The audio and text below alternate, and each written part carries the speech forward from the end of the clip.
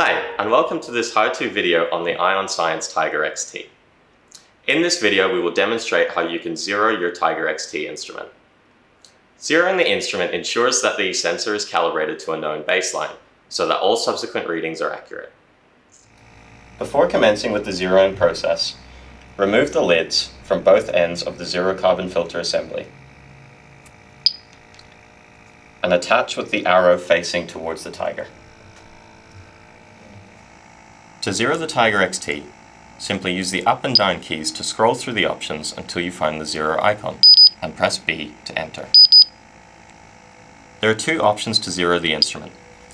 The first is absolute mode, which is done in case of factory calibration, and the second is relative mode, which zeroes the instrument in current ambient conditions which follows the drift of the Mini PID2 sensor. To zero the Tiger XT in the field, simply use the down arrow to select relative mode and press B to enter. The instrument will now zero. You can now remove the zero carbon filter assembly, attaching the lids to both ends of the unit.